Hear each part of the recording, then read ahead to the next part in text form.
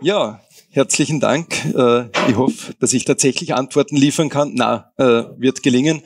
Mein Name ist Peter, ich bin Rechtsanwalt in Salzburg, äh, aber österreichweit unterwegs, bin spezialisiert auf IT- und Marketingrecht, habe zehn Jahre selbst eine EDV-Firma gehabt, mit mir kann man also technisch chinesisch reden, ich verstehe es und als Jurist ist es immer schon mal ganz hilfreich, wenn man zumindest weiß, was man rechtlich beurteilt, worum es denn da ungefähr gehen könnte. Das heutige Thema ist äh, tatsächlich riesengroß. Man kann äh, zu einem Thema wie WordPress und äh, Recht auch zwei Tage äh, vortragen, ohne dass das äh, Problem ist. Ich habe daher geschaut, dass ich das auf ein paar Kernaussagen beschränke und ein bisschen äh, tatsächlich äh, Know-how mitbringen, das man dann auch umsetzen kann. Das Spannende, wenn wir über WordPress-Plugins reden, ist, äh, Rechtlich gilt immer das Herkunftslandprinzip. Das heißt, wenn ich so ein Plugin entwickle für einen Staat äh, oder für ein Einsatzgebiet oder es selbst einfach einsetze, ich habe eine österreichische Website, habe einen österreichischen Webshop und lache mir ein neues Plugin äh, von diesen unzählig tausenden Plugins an, die da verfügbar sind, dann gilt das Recht äh, des Staats, in dem ich gerade sitze. Und wenn wir Österreicher sagen, das österreichische Recht. Äh, bedeutet, äh, dass viele Plugins, äh, die frei verfügbar sind, vollkommen unbrauchbar sind. Ich habe letztes Jahr die spannende Challenge gehabt, ich habe ein Membership-Plugin gebraucht, äh, das so ein Abo-System macht, gibt's wie Sand am Meer, technisch total ausgereifte Dinge. Ich habe alle runtergeladen und sie haben, waren leider alle US-amerikanischer Herkunft äh, und haben europäisches E-Commerce-Recht nicht einmal ansatzweise umgesetzt gehabt. Äh, so weit nicht, äh, dass ich einfach gesagt habe, das bringt's gar nicht, die zum Einsatz zu bringen, weil da ist die Adaptierung viel größer. Ich bin dann bei WooCommerce gelandet, was ein bisschen oversized war, aber das kann das äh, mit anderen Plugins. Das heißt, man muss tatsächlich, wenn man sich ein Plugin anlacht, mal nachkontrollieren, ist es bei uns überhaupt rechtskonform einsetzbar? Und bei sehr vielen Plugins lautet die Antwort leider, weil sie sehr US-lastig sind, nein äh, und braucht gröbere Adaptierungen.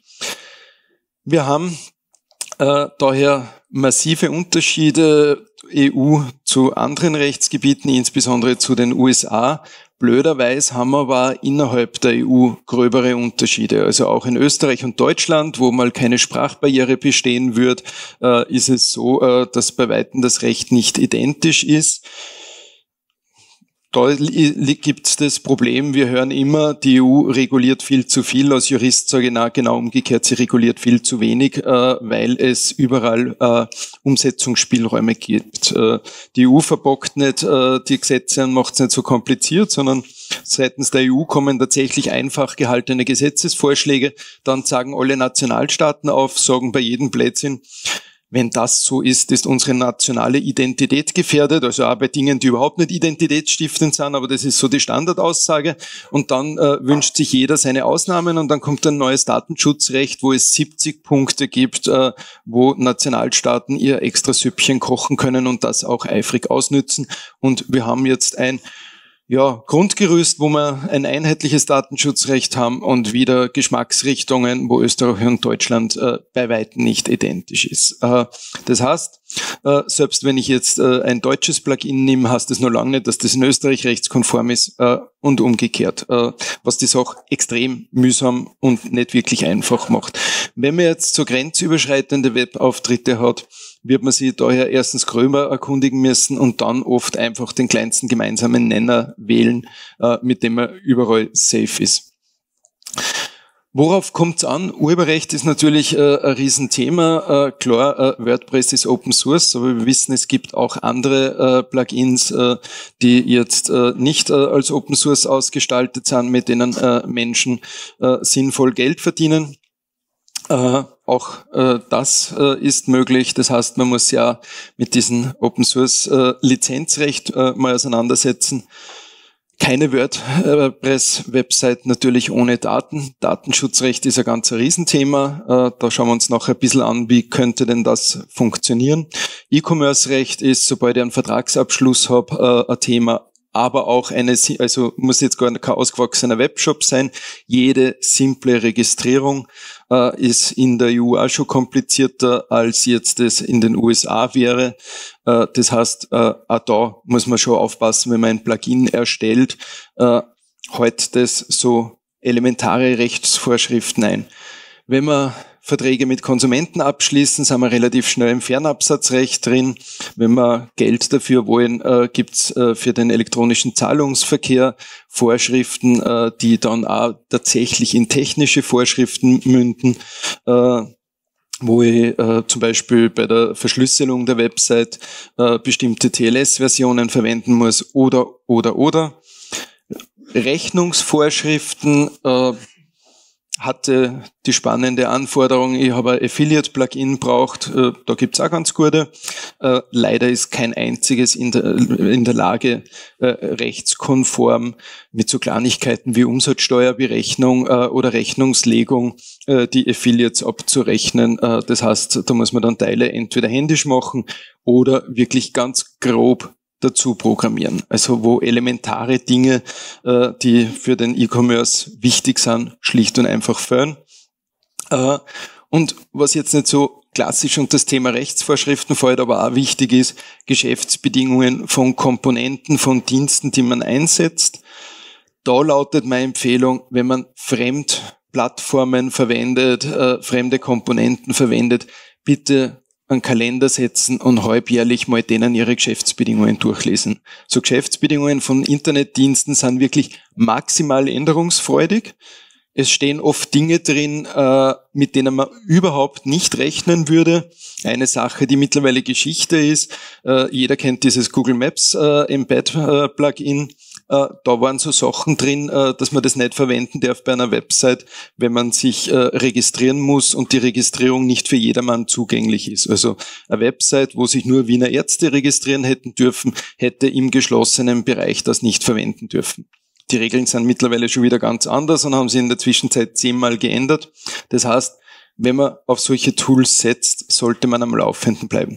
Ist noch halb so schlimm, wie es klingt. Bitte, wenn ich sage Geschäftsbedingungen lesen, den schlanken Teil lesen, wo tatsächlich drinsteht, was Sache ist, wo, wie die Benutzung eingeschränkt ist und wie nicht. Diesen ganzen Haftungsblabla und wir haften für nichts Part, den braucht man jetzt nicht unbedingt lesen. Aber dass man zumindest weiß, was der für mit dem tun.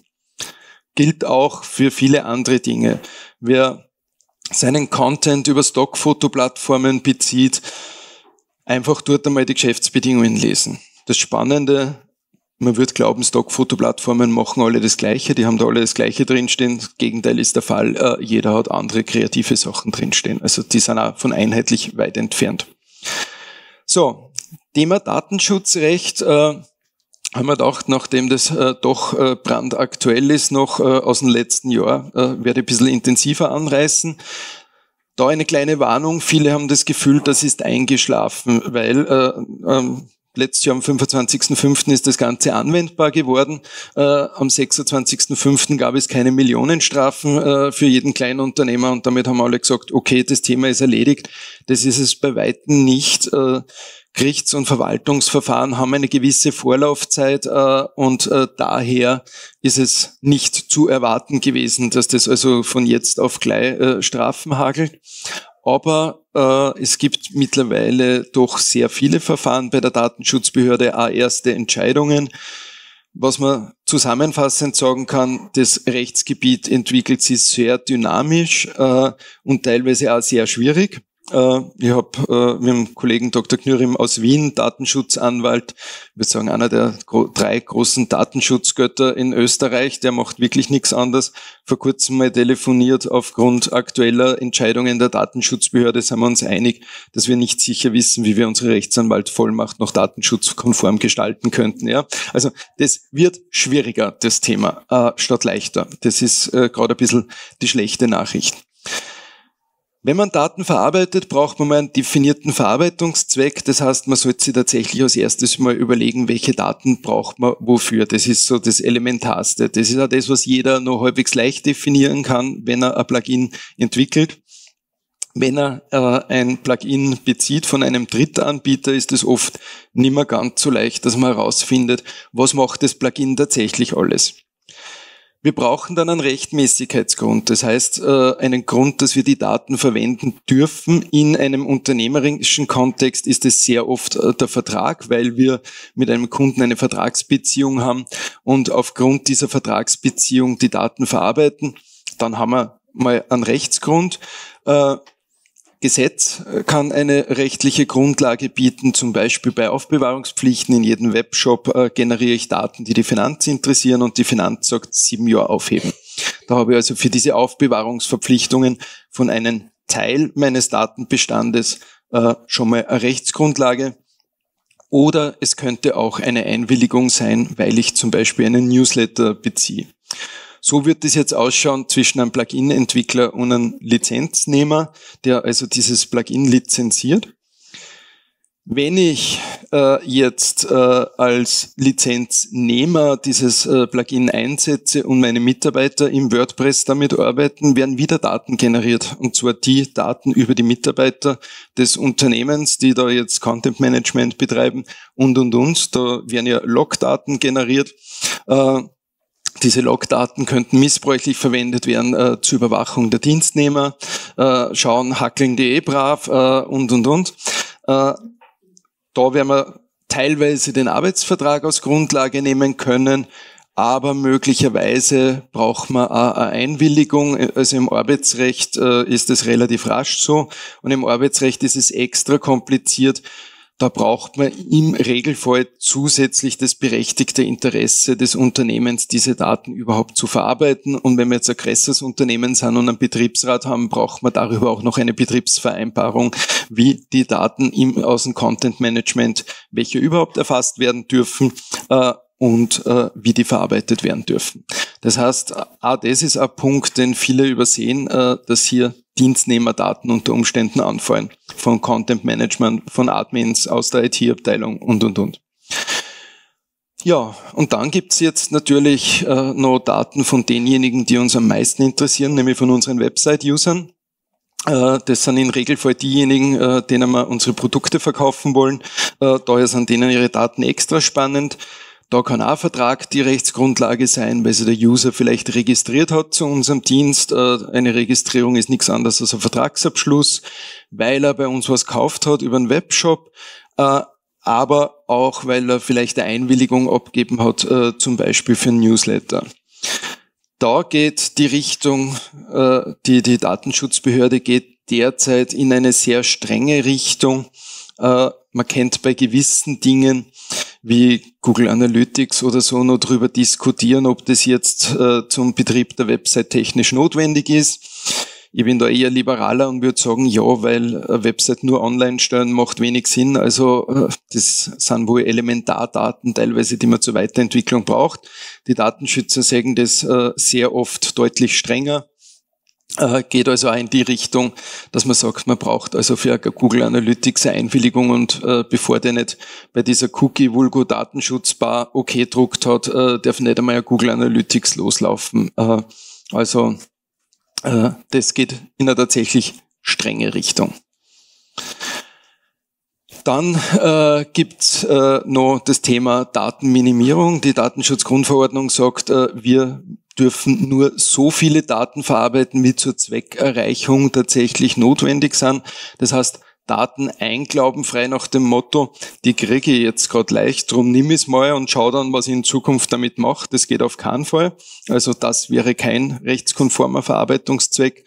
Daten einsammeln, äh, die zu viel sind, die man nicht braucht, äh, geht auch nicht. Also auch diese Daten darf man nicht erfassen. Das ist was, was man auch bei der Plugin-Entwicklung sinnvollerweise schon mitdenken sollte. Ja, äh, ist das Feature, das ich mir hier gerade überlege, tatsächlich rechtskonform? Äh, können meine User oder die User, die dieses Plugin dann einsetzen, in ihren Websites äh, tatsächlich das Ding rechtskonform verwenden? Das Thema Richtigkeit von Daten ist ein äh, Thema. Daten sollen aktuell und richtig gehalten werden. Der Hintergrund da ist, dass die Macher der Datenschutzgrundverordnung einfach gesagt haben, mit falschen Daten kann tatsächlich jemandem am leichtesten Unrecht passieren. Äh, daher soll man schauen, dass die Daten, die man hebt, valide sind. Da kann man Möglichkeiten zur Datenvalidierung einbauen. und auch zur Datenaktualisierung, dass man also nicht irgendeinen uralten Datenschrott hat, der auch nicht mehr passt. Und ganz großes Thema Speicherbegrenzung. Das sieht man aus den ersten Entscheidungen der Datenschutzbehörde, äh, dass diese Speicherbegrenzung äh, tatsächlich spaßbefreit gesehen wird und sehr granular gesehen wird, äh, so dass man also tatsächlich jetzt nicht sagen kann, der Gesamtdatenbestand wird zu dem Zeitpunkt gelöscht, sondern dass die Datenschutzbehörde sich das so vorstellt, dass es Daten gibt, die man unterschiedlich lange aufheben darf. Wenn wir jetzt uns äh, ein größeres Content-Management-System vorstellen, wird es kaum einen Sinn machen, dass man sagt, ah, 2. Jänner, der Tag im Jahr, wo wir überlegen, welche Daten wir halt manuell löschen. Äh, das heißt, da sollte man vielleicht mit überlegen, wie man das gleich äh, automatisiert machen kann, so dass das System anhand von Parametern erkennt, welche Daten sind wann zu löschen. Ja, technisch-organisatorische Maßnahmen, das ist das Thema, wo man Entwickler meistens am leichtesten begeistern kann, äh, dass das alles brillant ausgestattet ist äh, und wo es jetzt äh, auf Entwicklerseite meistens ja die Augen eher zum Leuchten beginnen. Es gibt das Thema Privacy by Design, das besagt, dass man bereits die Anwendung so gestalten soll, dass eine datenschutzfreundliche Anwendung quasi vorgegeben ist. Äh, da gibt's äh, so ein Angemessenheitskriterium. Das heißt, größere Projekte müssen sie da zum Beispiel mehr ins Zeug legen als kleinere Projekte. Unternehmen mit mehr Budget müssen da mehr leisten als Unternehmen mit weniger Budget. Anders bei Privacy by Default, äh, das sagt, wenn es zwei Einstellungsmöglichkeiten gibt, muss die Voreinstellung immer die datenschutzfreundliche sein. Also nicht so wie bei Facebook, äh, dass man grundsätzlich äh, jede Datenkrake standardmäßig aktiviert ist und man kann es dann de deaktivieren, wenn man das Kleingedruckte eifrig liest, sondern standardmäßig mal alles ausschalten, was ausschaltbar ist und dann kann man es quasi hinzuschalten. Und da gibt es also kein Angemessenheitskriterium, sondern wenn es diese Möglichkeiten gibt, dann sind die datenschutzfreundlich einzustellen. Thema Transparenz. Alle kennen das Thema Datenschutzerklärung. Äh, mit manchen Plugins ist es zum Verzweifeln, äh, weil man gar nicht genau weiß, was die tun, welche Daten die verarbeiten und, und, und. Das heißt, als Plugin-Entwickler sollte man da mitdenken, dass es hier dann Anwender gibt, die diese Plugins verwenden. Äh, und äh, denen mitteilen äh, die Infos, die die äh, Anwender dann brauchen, damit sie auf ihrer Website eine rechtskonforme Datenschutzerklärung machen können. Also proaktiv Infos liefern und sagen, wenn du dieses Plugin verwendest, solltest du in deine Datenschutzerklärung diesen Passus aufnehmen. Das wäre tatsächlich hilfreich. Äh, da muss man sich da nicht als Anwender selbst durchstirdeln, was macht das Plugin jetzt im Detail, äh, um das dann äh, verwenden zu können. Da haben wir jetzt noch was auslassen. Genau. Rechenschaftspflicht, äh, diese ganzen betroffenen Rechte, auch hier gibt es unendliche Möglichkeiten für Plugin-Entwickler, sich auszutoben. Äh, es gibt äh, dieses Recht auf Datenübertragbarkeit, äh, dass man Daten in einem Standardformat exportiert haben kann und damit zu einem anderen Anbieter gehen kann. Das ist also gerade, wenn man jetzt irgendeine Serviceplattform zur Verfügung stellt, relevant. Und natürlich auch das ganz elementare Recht auf Auskunft, welche Daten werden über mich verarbeitet da wären natürlich in einem IT-System im Idealfall denkbar, dass man solche Sachen äh, voll automatisiert macht. Das heißt, ich habe registrierte User, die können sie einloggen, äh, sehen jederzeit in Echtzeit, welche Daten werden über sie verarbeitet, äh, können sie die overladen, die Daten und äh, idealerweise was das System an, wo gibt's Aufbewahrungspflichten, wo nicht, so dass es dann einen Löschbutton gibt, äh, dass der User auch gleich die Datenlöschung selbst veranlassen kann und nicht zuerst der E-Mail mit Bitte um Löschung der Daten schreiben muss. Äh, also da könnte man Dinge wirklich äh, deutlich schöner ausgestalten. Wenn man Systeme hat, die eine automatische Entscheidungsfindung machen, die zum Beispiel zum Vertragsabschluss führen oder nicht, muss es auch die Möglichkeit geben, äh, dass ein Mensch hier nachkontrolliert. Paradebeispiel wäre zum Beispiel Online-Kreditvergabe, die aufgrund irgendwelcher Kriterien sagt, du kriegst einen Kredit oder nicht und die dann sagt, halt, in der Straßen, wo du wohnst, in dem Stadtviertel haben wir die höchste Ausfallsrate, da geben wir keine Kredite mehr her, Punkt. Äh, dann muss man die Möglichkeit haben, aufzeigen zu können äh, und sagen, ja eh, aber und äh, damit äh, dann ein Mensch entscheiden, ob er den Kredit nicht doch kriegt. Das heißt, solche automatisierten Systeme brauchen auch eine Möglichkeit, äh, dass man das Ganze manuell übergeht und äh, dann eine andere Entscheidung eingibt. Wenn man Subunternehmer hat, bitte den Auftragsverarbeitervertrag nicht vergessen. Äh, das ist auch bei Plugin-Entwicklern häufig der Fall, dass die auf Fremddienste zugreifen, die Teile der Datenverarbeitung übernehmen. Da braucht man mit denen dann einen Auftragsverarbeitervertrag. Bei Kooperationspartnern, wenn man gemeinsam Projekte macht und eine gemeinsame Datenhaltung hat, braucht es diesen Vertrag über die gemeinsame Verantwortlichkeit, äh, den die allermeisten vergessen erfahrungsgemäß wenn man Daten in Drittstaaten übermitteln, also außerhalb der EU, äh, dann braucht man dafür spezielle Rechtsgrundlage für die Datenübermittlung. Das kann ein Angemessenheitsbeschluss sein, so wie dieses Privacy Shield in den USA, wo man an Privacy Shield zertifizierte Unternehmen Daten sehr leicht übermitteln kann oder an kanadische Unternehmen Daten sehr leicht übermitteln kann. Wenn es das nicht gibt, braucht man auch wieder spezielle Rechtsgrundlage, wo es dann im Detail komplizierter wird. Und man also wenn man zum Beispiel die Einwilligung des Users dazu haben will, dass man die Daten nach Indien schickt, äh, weil die dort verarbeitet werden, äh, dem das relativ genau erklären muss, äh, was da passiert und dass da ein geringeres Datenschutzniveau ist und, und, und, damit diese Einwilligung rechtskonform geht. Wie schaut das jetzt mit der Haftung aus äh, bei so Entwicklung? Wenn man jetzt ein Plugin äh, einfach äh, aus Herzensgüte entwickelt und äh, als äh, Open Source äh, zur Verfügung stellt, dann hat man nahezu keine Haftung, weil es quasi eine Schenkung an alle möglichen und unmöglichen Menschen ist und mal als Geschenkgeber in Österreich Gott sei Dank relativ wenig Haftung hat, was die eigenen Geschäfte, Geschenke anrichten. Anders schaut es aus, äh, wenn man jetzt äh, entwickelt äh, und das in ein Lizenzmodell zur Verfügung stellt, dann hat man eine Vertragsbeziehung, dann hat man eine ganz reguläre Haftung. Wie groß die Haftung ist, hängt ganz massiv von der Gestaltung dieses Lizenzvertrags ab. In Österreich gibt's äh, da wirklich spannende Möglichkeiten. Man kann als österreichische Unternehmer, wenn man Geschäfte mit anderen Unternehmen macht, und dort liegen ja dann meistens die Risiko, weil wenn irgendein privater Website-Betreiber mal Plugin verwendet, dann wird da nicht schon rasend hoher Schadenersatz passieren können. Im B2B-Bereich kann man in Österreich Haftung wirklich nahezu auf Null eindampfen, zumindestens die Haftung, die relevant ist. Äh, da sind wir deutlich liberaler als zum Beispiel die Deutschen, wenn man deutschen Rechtsanwalt erzählt, was wir Österreicher an Haftungsausschlüssen vereinbaren können, der greift sich auf den Kopf und sagt, ihr spinnt ihr Ösis, ja, weil, weil das dermaßen radikal ist. Ein Deutscher kann gegenüber einem äh, Unternehmer fast weniger Haftung ausschließen als wir gegenüber einem Konsumenten. Ja, also das ist wirklich äh, ganz krass der Unterschied. Wenn man jetzt Entwickler ist, äh, Auftragnehmer ist, zahlt sich das aus, dass man diese äh, Möglichkeiten intensiv nutzt. Äh, die Erfahrung sagt, kein Mensch liest Geschäftsbedingungen, also ist wirklich die absolute Ausnahme.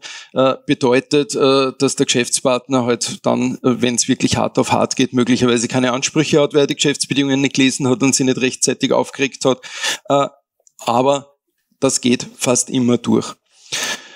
Äh, wenn man jetzt äh, eine Lizenz hergibt, dann wird man unter Umständen auch dafür haften, dass das zumindest mit WordPress an sich kompatibel ist. Ja, aber wenn ich WordPress-Plugin mache, macht es wenig Sinn, wenn es mit grundlegenden Sachen nicht äh, kompatibel ist.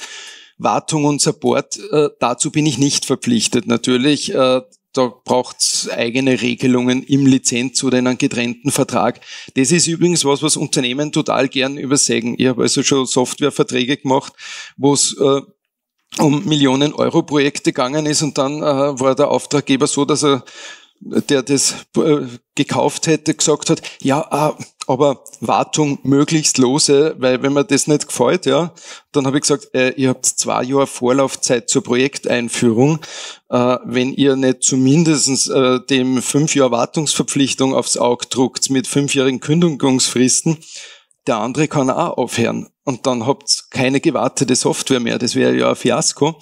Äh, das heißt, das ist was, was Software Kunden sehr oft übersehen, äh, dass eine Wartung ja essentiell notwendig ist und dass man aus derjenige, der Software bezieht, Interesse an einem Wartungsvertrag hat. Weil wenn man den äh, Entwickler verärgert und der haut ab, dann steht man ohne Entwickler da und das heißt dann auch oft ohne Software, weil wie sehr äh, andere Entwickler zu motivieren sind, an irgendeiner Fremdsoftware weiter zu doktern, das weiß man eh aus Erfahrung. Ja, die haben meistens keine große Freude. Ja, wenn man jetzt ein WordPress-Projekt für den Kunden erstellt und die Verträge ungeschickt äh, macht, kann man auch sein, dass man in eine Haftung für das Funktionieren eben des Gesamtprojekts reinrutscht. Äh, was jetzt grundsätzlich natürlich gegeben sein wird, äh, dass das grundlegend funktioniert, aber natürlich nicht für jedes Detail dieser Abermilliarden Codezeilen, äh, die man selber noch nie gesehen hat. Ja, also da ist eine sinnvolle Vertragsgestaltung auch tatsächlich essentiell worüber sollte man denn reden? Ja, also dass man Open Source Software einsetzt, ist, eine wesent, ist ein wesentliches Merkmal äh, der Leistung, äh, das einfach in die Leistungsbeschreibung reingehört, äh, damit äh, der Auftraggeber dann nicht überrascht ist, äh, dass er nicht eine Software hat, die quasi ihm alleine gehört. Ja, manche haben da noch ein bisschen die Vorstellung, dass die Welt so funktionieren sollte. Dann, dass man das die Haftung da reduziert. Milestones für Zwischenabnahmen sind perfekt, ja, weil wenn der Kunde das mal freigegeben hat und tatsächlich unterschrieben hat, äh, dass ihm das bisherige gefällt, äh, dann äh, werden die Streitpunkte in der Praxis schon mal kleiner, ja, weil dann nicht ganz am Schluss, wenn das Projekt fertig ist, der Kunde sagt, na ja, aber das ganz am Anfang hat mir schon nicht gefallen, hätte mir das einmal gesagt, äh, hätte sie das gleich aufgeklärt, äh, jetzt wieder zurück an den Start. Gewährleistung, äh, Schadenersatz und Regress wirklich auf das Minimum eindampfen, äh, was möglich ist. Äh, es gibt dann etliche Sachen, Ausschluss, Irreführung, Lesio Normis, wo es jetzt schon sehr juristisch wird, aber das kann lebensrettend sein, ja, und machen die wenigsten, weil sie halt noch nichts davon gehört haben und sie Verträge dann selbst basteln. Und natürlich auch dem Kunden klar machen, wenn man Fremd-Plugins einsetzt äh, und die ändern sie, weil der Plugin-Hersteller die Lust äh, dran verliert, dass er irgendein Feature weiterentwickelt und das rausnimmt aus dem Plugin, äh, dass damit Kosten entstehen können, die der Kunde dann nona nicht zum Zahlen hat. Und auch da kann man mit ungünstiger vertraglicher Gestaltung oder ich sag mit Nichtgestaltung unter Umständen in Haftungen reinrutschen, die unlustig sind. Was braucht's? Allgemeine Geschäftsbedingungen machen absolut Sinn. Wer als Unternehmer ohne allgemeine Geschäftsbedingungen arbeitet, ist wirklich selbst schuld. Es gibt dann auch noch das Gegenstück allgemeine Einkaufsbedingungen. Auch das ist äh, sehr wichtig wenn ich jetzt viele Aufträge vergebe und äh, jetzt meine Marktmacht so weit ist, dass ich sage, meine Subunternehmer freuen sich, wenn sie einen Auftrag kriegen, dann mache ich allgemeine Einkaufsbedingungen, wo salopp gesagt das Gegenteil drinsteht. In den Geschäftsbedingungen steht, lieber Kunde, ich hafte eigentlich für nichts. Äh, und in den Einkaufsbedingungen steht dann drin, lieber Subunternehmer, du haftest mir für alles. Äh, und das möglichst streng. Dann ist man in einer sehr bequemen Position diesen Auftragsverarbeitervertrag oder Vertrag über gemeinsame Verantwortung nicht vergessen, wenn es äh, um Datenthemen geht, also um personenbezogene Daten, Lizenzverträge, Software-Service-Verträge und auch diese Wartungs- und Supportverträge bitte nicht vergessen. Wer Lust hat, äh, jetzt kommt eine einsekündige Werbeeinblendung, schaut mal auf marketingrecht.at, da kriegt man solche Verträge in Form von Generatoren. Ende der Werbeeinblendung und jetzt bitte eure Fragen.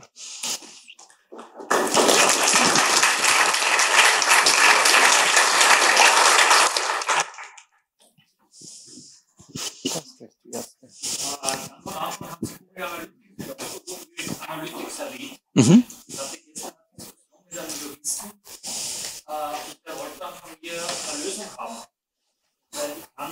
Analytics erst dann den Kunden aus aufrufen, wenn der zugestimmt hat. Mein Vorschlag war, ich mache eine Vorschaltseite, wo der Kunde sagt, ja, ich will Google Analytics oder ich will es nicht. Das. Also eine Vorschaltseite ist vielleicht ein bisschen überdimensioniert. Äh, das Ideale ist eigentlich, wenn man die Cookie-Bar zu einer Datenschutzbar umbaut äh, und dort halt aufklärt, was da passiert, ja, äh, dass Tools zur Webanalyse verwendet werden und äh, dass man das dann so ausgestaltet, dass das Google Analytics Skript erst dann losrennt, wenn hier tatsächlich der Ja-Button oder OK-Button gedrückt wurde. Das ist jetzt selbst mit einem zehn Zeilen JavaScript äh, gut möglich. Was man dann noch bedenken sollte, wenn der die Zustimmung erteilt hat, muss er die natürlich auch wieder widerrufen können. Das heißt, es muss in der Datenschutzerklärung dann idealerweise einen korrespondierenden Button Schrägstrich Link geben, äh, wo man dann äh, das äh, Cookie entweder löschen kann oder ein Opt-out-Cookie zum Beispiel jetzt speziell für Google Analytics setzen kann. Ist technisch jetzt keine rasend große Hexerei. Man verliert natürlich Analysedaten äh, und hat dann nur noch die Daten von denjenigen, die tatsächlich OK geklickt haben. Das heißt, Google Analytics darf jetzt einbinden, also erlauben, JavaScript, wenn der das bestätigt. In diese Richtung geht es tatsächlich, wenn man die Entscheidungen der Datenschutzbehörde anschaut. Ja, also ich sage, Google Analytics wäre ein Tool gewesen, äh, wo ich sage, da hätte man noch gut drüber diskutieren können, weil Google das äh, jetzt äh, zum Beispiel deutlich sauberer löst, außer Facebook Pixel. Äh, Google äh, sagt, äh, die Analytics-Daten werden für sonst nichts verwendet äh, und daher tatsächlich rein mein Auftragsverarbeiter ist und äh, ja, die Daten, wenn man die jetzt rein zur Website-Analyse verwendet, hätte ich durchaus so gesehen, dass das Daten wären, die man vielleicht auch noch ohne Einwilligung verwenden kann. Aber wenn man die Entscheidungen liest, äh, die jetzt ergangen sind, äh, geht es definitiv nicht in diese Richtung.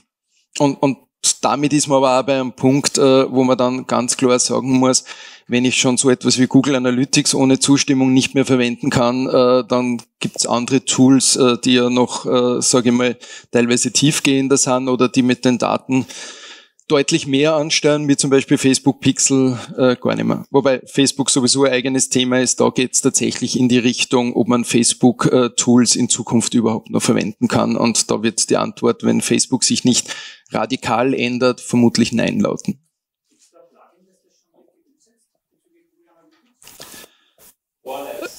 Äh, ja, also glaube ich, äh, dass die das machen. Aber wie gesagt, das ist also selbst mit ein paar JavaScript-Zeilen äh, perfekt gelöst. Äh, man macht ein Cookie, das getroppt wird, das auch dafür sorgt, dass die Cookie-Bar verschwindet. und dann halt vor dem Google Analytics Code eine Abfrage, ob dieses Opt-in-Cookie gesetzt ist und nur wenn das gesetzt ist, feuert Google Analytics und äh, dann noch eine Abfrage, die halt auch schaut, äh, ob nicht gleichzeitig das Opt-out-Cookie gesetzt ist für Google Analytics, weil dann erst recht wieder nicht feuern. Also das ist tatsächlich so viel Code.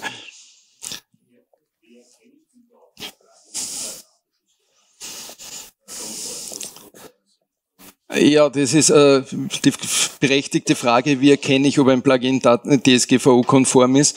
Äh, von außen meistens gar nicht. Äh, man kann dann mit den Plugin-Herstellern natürlich Kontakt aufnehmen und die richtigen Fragen stellen, äh, wobei auch das äh, ja, äh, wie meine eigene Erfahrung sagt, äh, oft äh, zu nicht rasend viel führt, weil äh, gerade wenn man jetzt äh, dann einen US-Amerikaner auf der anderen Seite hat, äh, die halt da oft ein grundlegend anderes Verständnis haben, ja, und, und äh, und, oft auch erstaunlich wenig Interesse haben, ja. Also wenn man dann sagt, Leute, ich, ich sage euch, was tun müsst äh, oder was Voraussetzung war, auch das interessiert dann oft gar nicht, ja.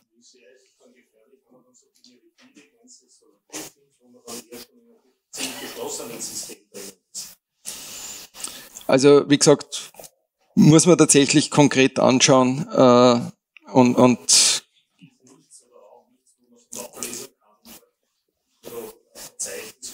na, leider nicht.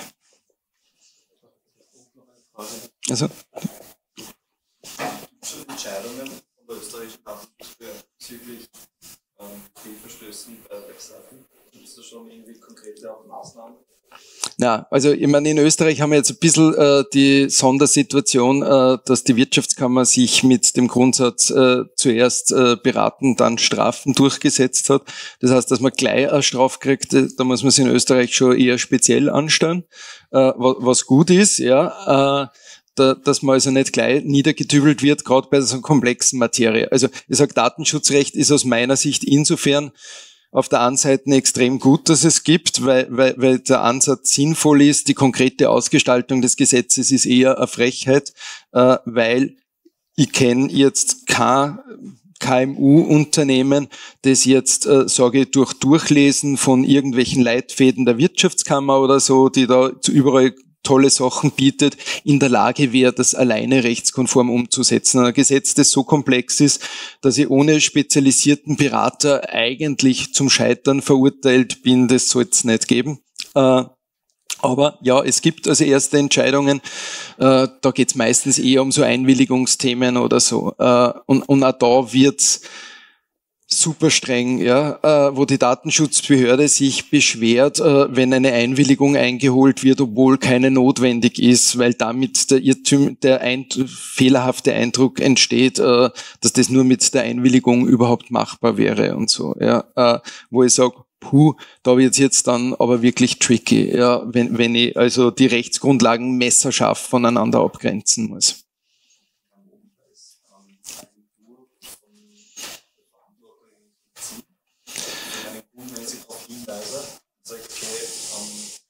Das ist meine Empfehlung, ich bin aber kein Datenschutzexperte etc. Ähm, jetzt zu jemandem, der in der Recht beratet, wir sagen nur, können wir das technisch umsetzen, aber wir können es nicht beantworten. Ja. Also als Agentur äh, gibt äh, mal grundsätzlich Möglichkeiten, dass ich meine Haftung eben jetzt über Geschäftsbedingungen oder so generell jetzt einmal auf ein Niveau senke, das tatsächlich leicht erträglich ist, äh, dass ich eine Haftung äh, komplett äh, ausschließe.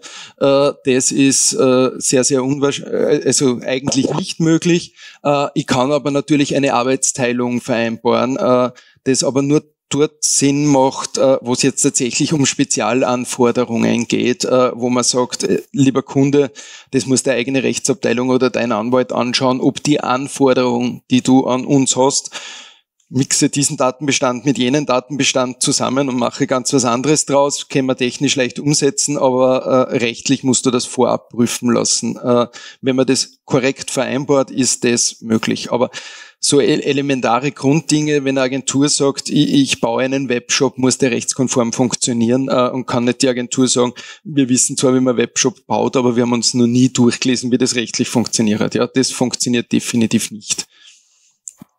Also das wäre wie eine Autowerkstatt, die sagt, wir können Autos technisch herrichten, äh, aber ob das dann äh, eine Straßenzulassung kriegt oder nicht, mit sowas haben wir uns noch nicht beschäftigt. Da fragst du einen Anwalt, ja. Äh, also, aber genau so ist es, ja. Äh, also im Kreativ- und im IT-Bereich äh, glauben die Leute